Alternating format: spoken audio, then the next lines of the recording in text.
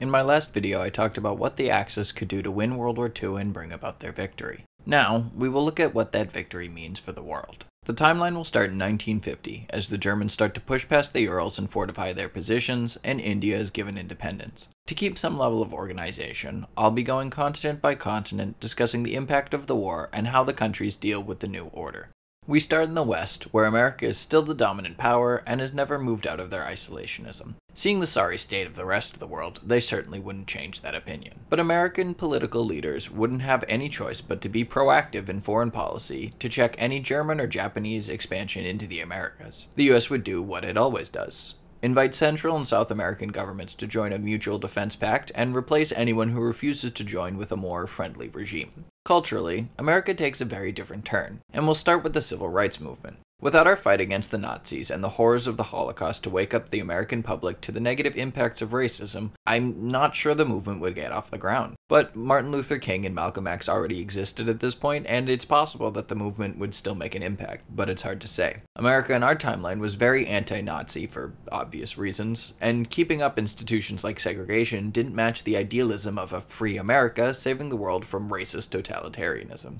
In this timeline, that sentiment doesn't exist. People were indifferent to Hitler at best, and many even admired him for saving Germany. So it's doubtful that racist policies in the US would be removed or rolled back at all, given how half hearted it was done in our own timeline. I don't know if the free love hippie movement would even happen in this timeline, as that depends on the social blowback from the up and coming generation. Speaking of boomers, in our timeline, boomers grew up in the single greatest economic period of American history. America became grossly wealthy after World War II because they were the only country that hadn't been destroyed by the war and had all their infrastructure and industry intact. So they were able to make a profit rebuilding the war torn world. In this timeline, America never gets that opportunity, so the economic boom of the 50s never happens. This has several ramifications. First, cars never gained the popularity they had in our timeline. American businessmen wouldn't have the capital necessary to invest in building cars, and the government wouldn't have the money to build highways, at least not at the rate that they were building them in our timeline. Second, things like TVs, fridges, and microwaves take longer to develop as businessmen wouldn't have the resources to invest in these inventions for some time.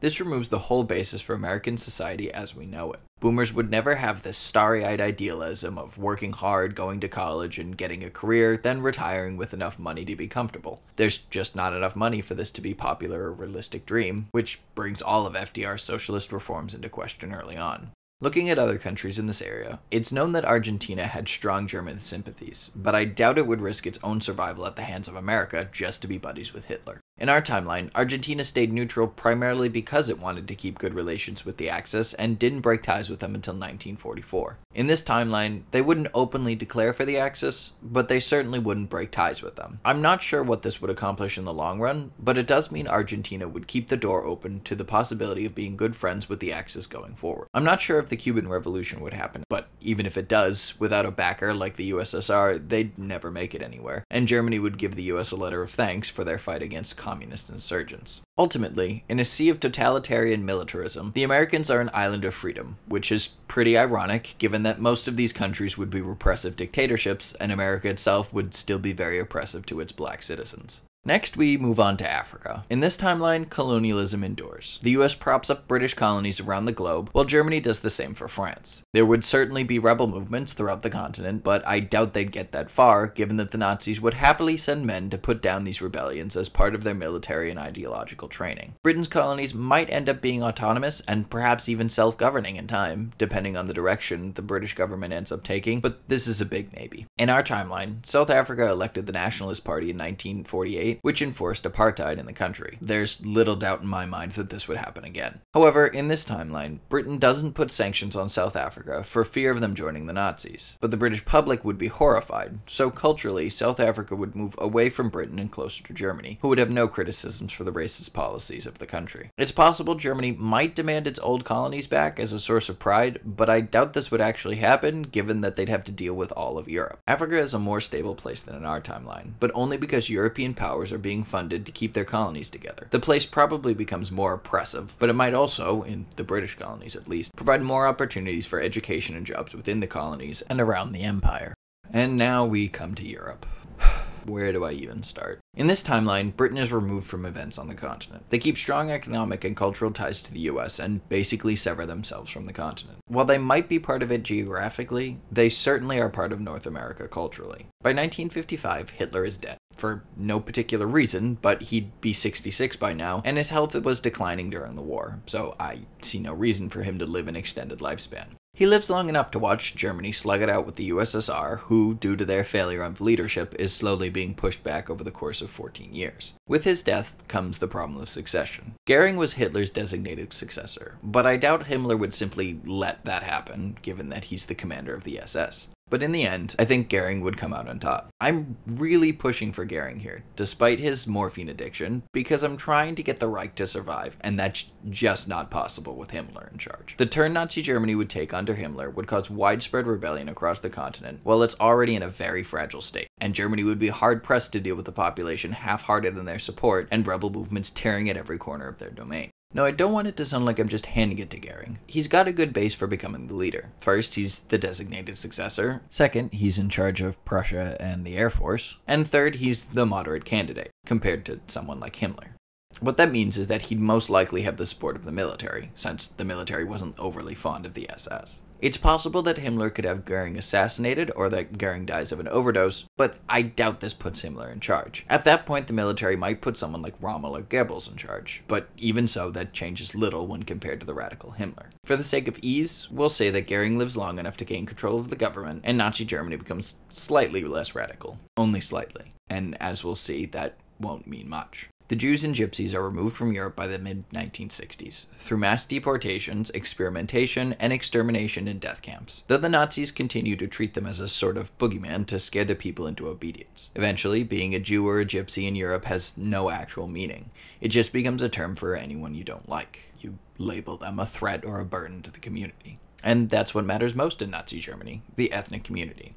The Nazis had a large number of programs to encourage community and solidarity amongst the Germans, such as the Hitler Youth and the Strength Through Joy program. These would likely be expanded over time, while institutions like marriage and orphanages would be under great supervision and control of the state as the future of children and their ethnic and ideological solidarity with other Germans would be of paramount importance. Having children with non Germans would be considered a disgrace, and having a child with a Slav would be a crime. Heritage would be a big deal in this timeline. Criminal activity would land you in a camp, and if you're a routine offender, you won't be leaving, as the Nazis have no tolerance for so called habitual criminals. In this timeline, psychology doesn't become a respectable field of science, as it was dismissed as a Jewish invention. Any mental illnesses are dismissed as hereditary diseases that lower your value to the community.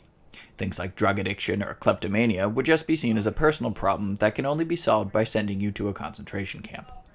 Camps are also the spot for anyone the higher ups don't like, and denunciations of your enemies as Jewish or homosexual would likely be common practice throughout the Reich. Like modern day communist China, people would need ties to the Nazi Party to secure better paying jobs and avoid legal trouble, and a system of social credit to set your value to the community would be put into place. Everyone the Nazi higher ups dislike, for basically any reason, will be shot or sent east to work in camps on the other side of the Urals. The Czechs and Poles would be moved out of their homes in East Central Europe and deported for slave labor and extermination further east. This process would continue probably well into the 70s, as this would be a major goal for the Nazi government. Their lands would be settled by Germans and incorporated into the Reich fully, which would be cause for mass celebrations across the Reich. Gains like this would be used to distract the populace from underlying political and economic issues. Moving east would give the chance for a new start for people decades to come, and not just for Germans. The Germans would be happy to move Norwegians, Danes, Swedes, Dutch, Belgian, French, and even English settlers to the east to populate the area. And with each new wave of immigrants comes another wave of exterminations, as the Ukrainians, Belarusians, Baltic peoples, and Russians are killed off to make room. This eastern movement would take a lot of manpower, as the Russians are not going to lay down and die. Insurrections and acts acts of sabotage will be normal for several decades as the native Russians actively work against the genocidal oppressors. Science and medical studies would go in a horrifying direction. As mentioned earlier, genealogy would be especially important and possibly mandatory in Nazi Germany to prove your value to the community and show that you don't contain any heritage the Nazis would deem dangerous. Racism would be considered a fact, and all future academic considerations would be built around that. Anyone trying to prove that race as a scientific fact is wrong would be undermining the national community and be removed from their practice. Nazi science would be highly dependent on experimentation and unwilling people, and this would only become more widespread in the medical field as Slavs and Africans are dehumanized in the eyes of the Nazis. Breeding of people would be considered a respectable profession, and the Nazis would release pamphlets encouraging people to be aware of any hereditary diseases that need to be removed from the community and any Jewish or Slavic ancestry, or mental issues like autism that would make you a burden to the nation. I imagine it'll be a regular occurrence for a German mother to hide her autistic child from the government until she can move to another country where this is more acceptable. In this world, women would be restricted to a handful of jobs like nursing and teaching, while slave labor would substitute for the lack of men in Germany, as any available men would be off in the east fighting Russians. The Germans would keep their economy artificially stable by managing international trade and their workforce, sending people across their vast empire to a place where they could get a better job or serve in the military rather than stay home and be poor. Most every male would be in the military. Service would eventually become mandatory, and anyone who openly disapproved of the military would be considered a coward and a traitor. The military would also be one of the best ways to advance your career, since in the Reich you were guaranteed a government job after your military term was up, which would probably lead to a bloated government after only a few generations and no one would be able to speak up about it because, you know, it's Nazi Germany. On the international scene, the 50s, 60s, and 70s are plagued by rebellions across the continent. Germany would annex Sweden eventually and split Switzerland with Italy. The Serbs would be exterminated and their land split between Germany's allies. Allies who would live in fear of the German and Italian military power. They'd be forced to go along with whatever trade deals and public works programs the Nazis and Italians would want to improve their control of the nations. Hungary, Croatia, Bulgaria, and Romania would have to allow German businesses into their country to build and develop as they pleased, while Germany and Italy would mitigate the influence of foreign businesses on their nations. The Axis countries would not be allowed to trade with Britain or the US, and they'd have to allow Germany and Italy to interfere with their internal workings as well.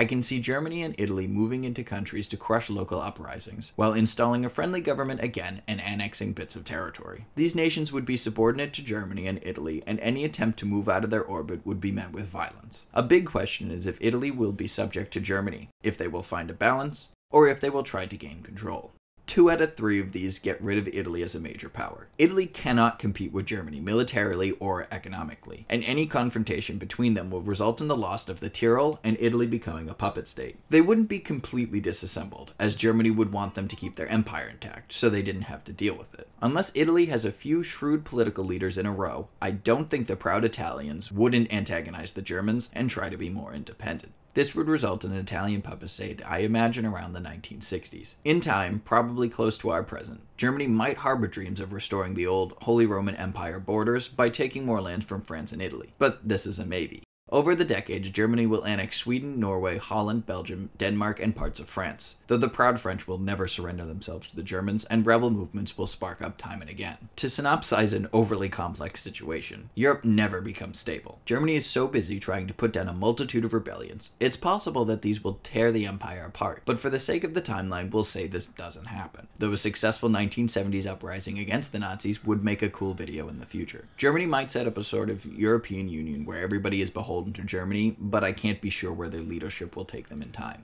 In a future video, I might explore the idea of what the world would look like in the present, but for now I'll just leave this as is.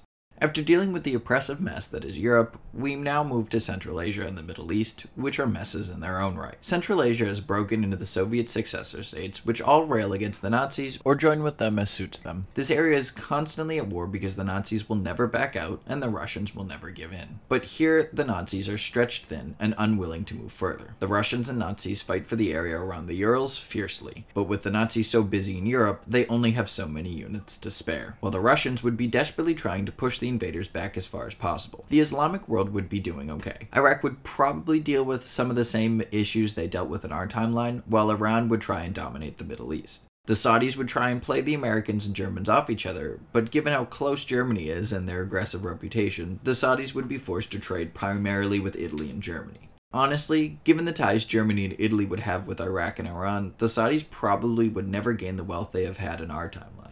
Syria, Lebanon, Jordan, and Palestine would be French and Italian colonies, and would most likely remain that way for some time. Turkey would be in a rough spot and might face hostility from their neighbors, but the Germans were relatively friendly with the Turks, so I imagine they get along fine in this timeline. Iraq, Iran, and Turkey would vie for control of the area, and Germany and Italy would watch and encourage their rivalries. In South Asia, Britain divides India, like in our timeline, and they become a nominal British ally to prevent the Japanese encroachment. They become a highly nationalist and militant country, forced to stand its ground in a hostile Asia. Pakistan would be a rival to Iran and India, and it's possible they might get partitioned between the two, but I'm not sure. Pakistan might look to Japan for support against the Indians and Iranians, but this is difficult to say. Nepal and Bhutan would survive just because no one would want to invade them.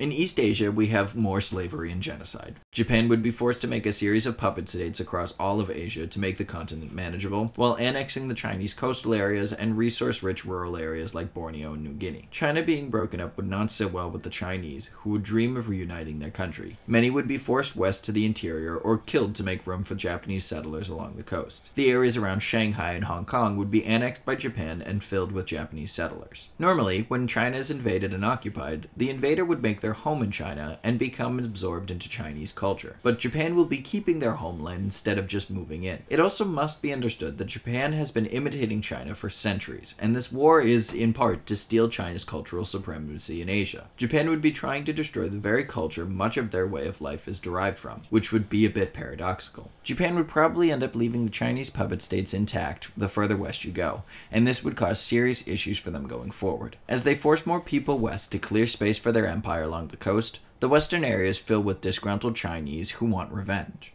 With control of the coast and superior resources, and over time, maybe even superior manpower, the Japanese would use these wars against the Chinese as an excuse to butcher more and more of their people. Perhaps in a century or so, the Japanese would move their capital onto the mainland, but keeping the purity of their culture would be considered paramount to the Japanese.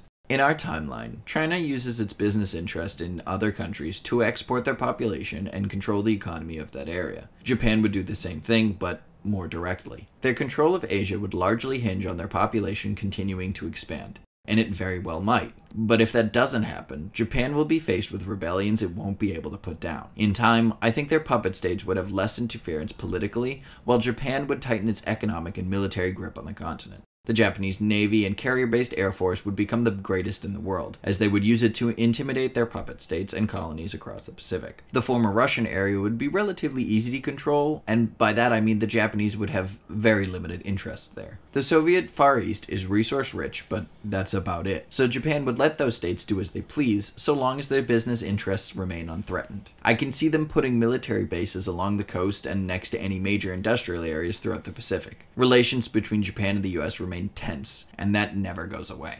It's not impossible for them to go to war one day, but we can talk about that another time. Australia and New Zealand would keep close ties to America, just because they'd have no other choice. America would be the only thing keeping the Japanese at bay, so they'd naturally allow the US to set up naval and air bases in their country and keep good relations. They'd work out a demarcation line of control of the Pacific, using any instance of the Japanese Navy passing out of their area of control as an excuse for reprisals, but the Japanese would stay within their bounds so as not to piss off America. I'm sure some of you are wondering about the atomic bombs. America dumped considerable resources into a bomb because they were at war. But without that war to push them along, they don't dedicate as much to making a bomb, so it probably takes another 5 to 10 years to develop. Germany was already working on a bomb, but they didn't have the resources to spare and wouldn't until the war was basically over. Let's say they put considerable resources into it after the capture of Moscow. That would probably still be after 1945, as I imagine holding the city for extended periods of time would become its own issue issue. So the Germans and Americans get the bomb around the same time, but it's the Germans that use it first. They drop it in Russia, probably on a major city a bit east of Moscow like Gorky. This area would become a site of pride for the Germans to show their technological superiority and dedication to victory. The Japanese wouldn't develop nukes for some time as the emperor thought it would vaporize the atmosphere. But in time I imagine they'd look into it, perhaps after the Germans used theirs. This timeline is bleak, full of death, and waiting to fall apart. I've presented a sort of best case scenario for the Axis that's still grounded in a level of realism, but honestly, their empires are ready to come apart at the seams. There will be no thousand year Reich because building an empire off of that much hate, discrimination, and terror makes everyone resentful and determined to get rid of it. If you threaten every Russian and Chinese person with extinction, they will fight to the death because death is the only option they're being given. And if I'm going to die, I might as well die fighting for my freedom. Before we end here, I just want to thank everyone who came to my channel on the 21st of April. I went from 6 to 1.4 thousand subscribers in a single day, and I really appreciate the support from all of you. I have some things in the works, but this is a new channel, so I'll be checking in with you guys to see what kind of content you'll be interested in going forward.